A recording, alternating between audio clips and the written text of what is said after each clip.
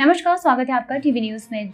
शिवनी मालवा के ग्राम विसोनी कला में माँ नर्मदा पुराण कथा आयोजित की जा रही है। विसोनी कला के निवासी विनोद वर्मा ने जानकारी देते हुए बताया कि ग्राम विसोनी कला में माँ नर्मदा पुराण आयोजित की जा रही है। नर्मदा पुराण को सुनने के लिए आसपास के क्षेत्र एवं शहर के श्रद्धालु आ रहे हैं एवं नर्मदा पुराण का लाभ ले रहे हैं। श्रद्धालुओं में महिला, बच्चे एवं बुज़ुर्ग एवं युवाओं का विशेष योगदान हो रहा है। माँ नर्मदा पुराण में कथावाचक नीलेश उपाध्याय जी के द्वारा चल रही श्री नर्मदा पुराण का जिसमें अनेका एक श्रद्धालु उपस्थित हो रहे हैं।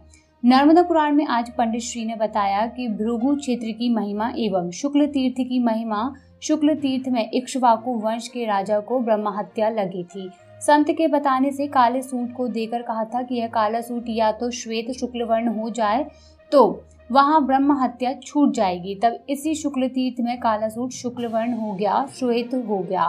तभी से इस तीर्थ को शुक्ल तीर्थ कहते हैं। तीर्थ के विषय में पूर्ण जानकारी एवं तीर्थ किस प्रकार का किया जाता है, यह सब बताया जा रहा है। एवं माँ नर्मदा की विशेषताओं को भी कथावाचक के द्वारा बताया जा रहा है।